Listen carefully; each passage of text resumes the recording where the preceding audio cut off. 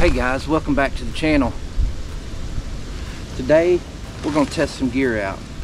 Um, I got my Z-Lite, Z-Packs, uh, or Thermarest Z-Lite. It's just a ground pad that I'm going to use underneath my Nemo tensor. It's supposed to be, I think, a 4.2 R value. It's supposed to get down to negative 3 tonight. So um, we're going to test a military sleep system tonight. And um, reason I put it in my tent is supposed to, we're supposed to have some high winds and I wanted to test out this Nature Hike tent. It only cost me $100 for this tent, so we're gonna see if it's uh, good enough for money's worth. We're gonna see if we can get our money's worth out of it. Uh, like I said, it's supposed to be a uh, negative three tonight and 20 mile an hour winds. So we're gonna test this um, military sleep system I got. This is the same one that I used when I was in the military. And um, it's supposed to get down to its rating with everything is um, supposed to be uh, be able to get down to negative 50 so we're gonna see and I'll show y'all a little bit more about it too. I'm gonna put these in here and then wait for it to get a little bit dark and then we'll climb in there and see what we can do.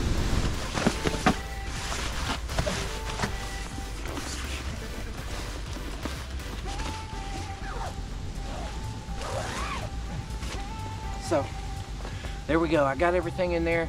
Later on we'll carry out the uh, modular sleep system. You know the um, same one I used in the military. And uh, we're gonna see if we get a good night's sleep, sleep or if we're uh, freezing to death. I know I'm freezing right now so I'm excited. All right guys we're out here. As you can see I got my military. Let me move this around here a little bit Got my military sleeping bag system.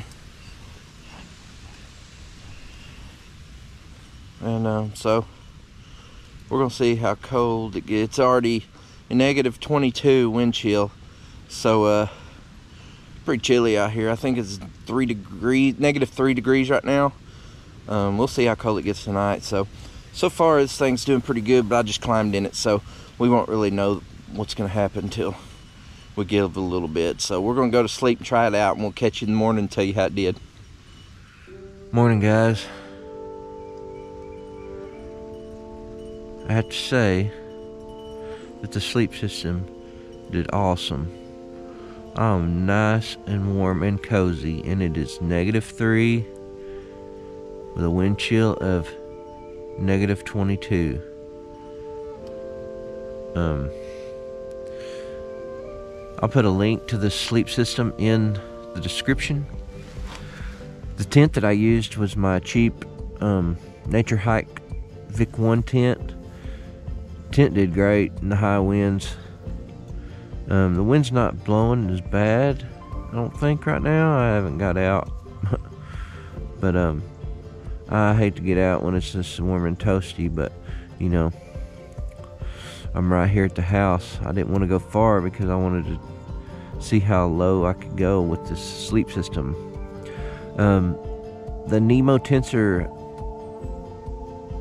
um, sleeping pad, um, it, it, it did good, but um, I could see where somebody would want a higher R value. Uh, there, you know, it is um, I won't say cold, but it's cool. The mat's cool right now, like sleeping on it but um, nothing that's just major.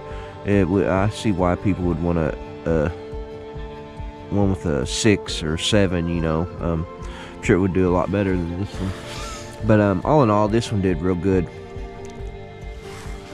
Now we get to climb out of this bad boy. You can see where the frost got up under there. This is what I had under, over my face. I didn't want to get frostbite. so, just climb out of it like a bear.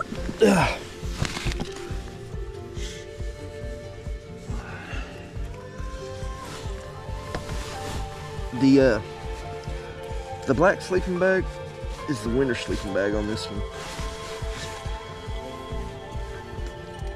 They did real good.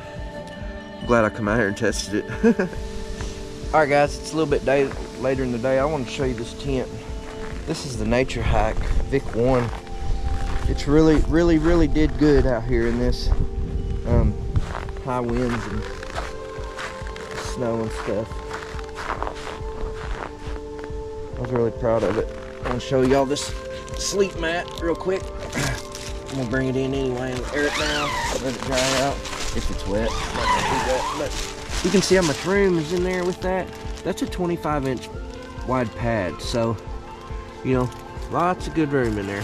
I still got some other stuff in there, but I want to get this in.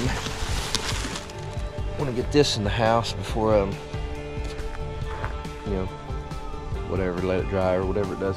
I needed about a um, six or seven R value. I think would have been real good. That's a 4.4. Um, after about four hours, it started getting a little bit cool, like on the on the um, mat part, but nothing that wasn't unbearable. It was it was a really good experience. I can attest for negative three with a negative 22 degree wind chill, and I was good. So it will do that. So thanks guys for coming along. Thank you. Bye.